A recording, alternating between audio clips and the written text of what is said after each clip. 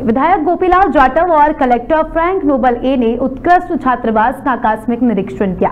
इस निरीक्षण के दौरान कलेक्टर ने संस्था की सभी व्यवस्थाओं को देखा, साथ ही विद्यार्थी से बातचीत कर जानकारी ली। वहीं कलेक्टर ने विद्यार्थी से कुछ प्रश्न भी पूछे, जिनके विद्यार्थियों ने सही उत्तर दिए, जिस पर कलेक्टर उन्हें पुरस्कृत कर उत्साहवर्धन भी उन्होंने किया। वही विधायक जाटव और कलेक्टर ने विद्यार्थियों के साथ बैठकर भोजन भी किया और उन्होंने निवासरत विद्यार्थियों को कम्बल तकिया, मच्छरदानी आदि सामग्री का वितरण भी किया। को निकाल लिया फिर वापस से हमने ऐसा ही निकाल निकाल निकाल के दूसरी जगह ये दो है और ये नल पड़ा है पानी जितना चाहिए ले लो।